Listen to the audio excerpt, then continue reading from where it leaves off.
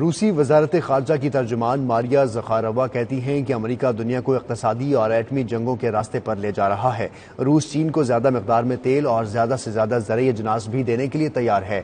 وہ Saint Petersburg میں World Economic forum کے دوران نمائندہ نائنٹی نیوز شاہد گھمن سے خصوصی گفتگو کر رہی تھیں۔ Saint Petersburg international economic forum کے موقع پر روسی وزارت خارجہ کے ترجمان ماریا زخاروا کا کہنا تھا کہ امریکہ دنیا کو جس سمت لے جانا چاہتا ہے وہ ایٹمی جنگوں اور اقتصادی جنگوں کا راستہ ہے، جو کہ بہت خطرناک ہے۔ اس جنگ میں سب کچھ ختم ہو سکتا ہے۔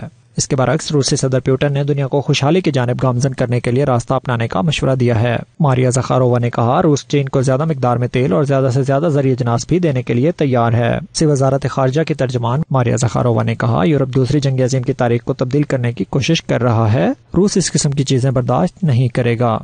Вы извините меня, я проработала несколько лет в нашем поспредстве при Организации Объединенных Наций в Нью-Йорке.